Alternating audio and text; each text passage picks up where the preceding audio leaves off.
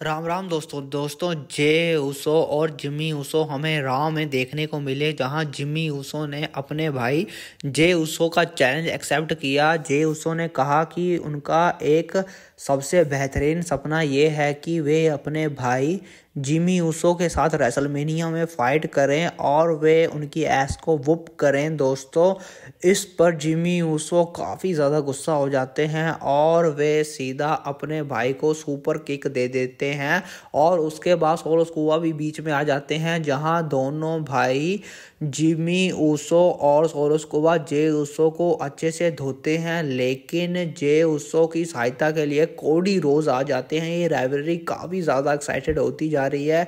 हमें हर तरफ़ blood line ही नज़र आ रही है। हालाँकि कोडी रोज जे उसो को सेव कर लेते हैं दोस्तों, और जे उसो इस बार हमें काफ़ी ज़्यादा उत्सुक दिखाई देते हैं। दोस्तों, इस मैच में कौन जीतेगा? कृपया हमें कमेंट बॉक्स में ज़रूर बताएँ। मिलते हैं अगली एक और वीडियो में।